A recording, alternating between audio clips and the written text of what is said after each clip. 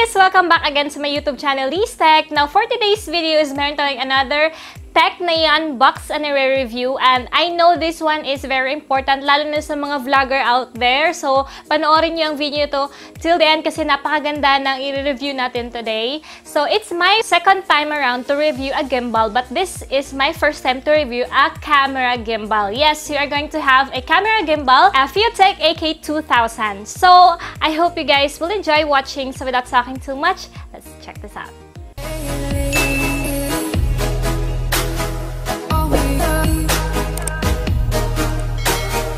Ayan, so buksan na natin. Wow, marami siyang accessories actually. And andito sa center yung gimbal itself.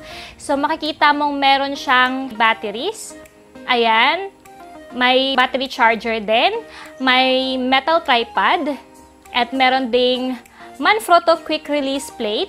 And here are the USB battery charger cables, and screw. And by the way guys, meron silang mga adapter for cameras like Canon, Sony, Panasonic. So it is really good kasi complete pala siya guys. And ayan na nga, eto nakukunin na natin ang gimbal. Okay guys, so medyo mabigat po siya. And actually, this gimbal pala is can payload up to 2.8 kg. So, pwede to sa mga mirrorless camera and sa mga DSLR cameras. Yan, rubberized na siya, which is really good. And large na yung monitor niya. Touchscreen pa to, guys. And sobrang easy lang ng pag-change ng setting. Makikita nyo sa front niya is may joystick.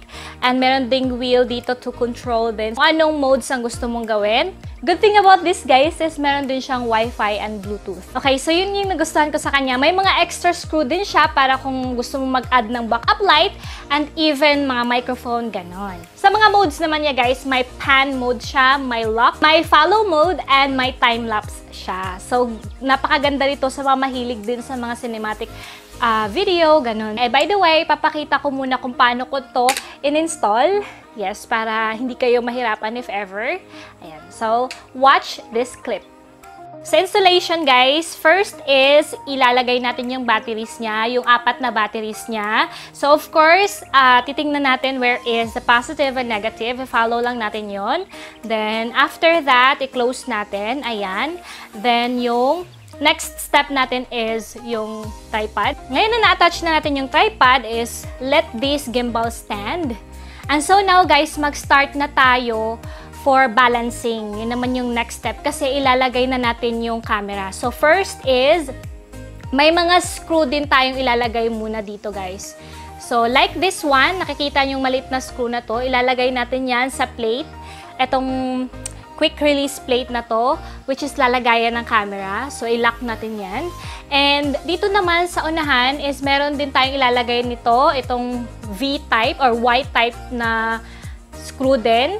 And ito yung maliit na screw. So, ilalagay natin yan sa front. Ayan, makikita nyo. And so, now kapag nata-attach na siya, kasi ito yung makakatulong para ma-hold yung camera. I mean, hindi siya basta-basta mahulog. So, now that we're done installing these, screws. Now, let's attach the camera. So guys, yung camera natin is medyo mabigat. So, kailangan talaga proper yung balancing natin. So, yan, panoorin nyo kung paano ko binalance. May mga i-adjust lang kayo na parts sa arm. Ayan, may adjust din kayo na parts sa gilid. And so, finally guys, ayan. Okay, so adjust tayo konti pa ulit. So, ayun na guys. Finally, na-achieve na natin at na-balance na natin siya. So, very excited na tayo i-test to sa field. Uh, this Fiotech AK2000 gimbal guys is meron siyang maximum tilting range 360 degrees, maximum rolling range 360 degrees din, and panning range 360. And yung tilting speed niya guys, amazing. 20 per second to 75. Yung panning speed niya guys is 3 per second to 150 per second. Napabilieve din ako sa battery niya guys kasi maglo-long last siya up to 12 hours. So, hindi ka mag-worry kapag magta-timelapse ka. I'm no excited na akong i-test ang product na to actually sa field, kung ano yung performance niya. Hello, Techies! So, nandito tayo ngayon sa field para i-test natin yung Fiotech AK2000 Gimbal.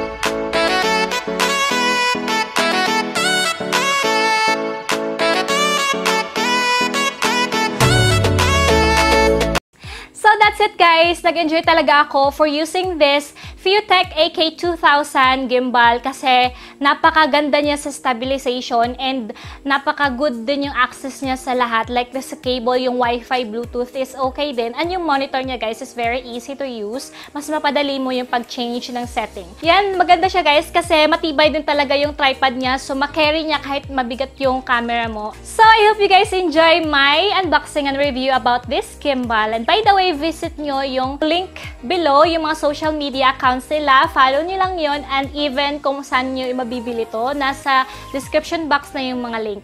Thank you so much guys for watching. And don't forget to like this video, share it with your friends, and subscribe to my YouTube channel. And comment below if you have. That's it, techies! So see you again till my next video. Marami tayong upcoming smartphones, so stay tuned lang kayo sa channel ko. See you till my next review. Bye!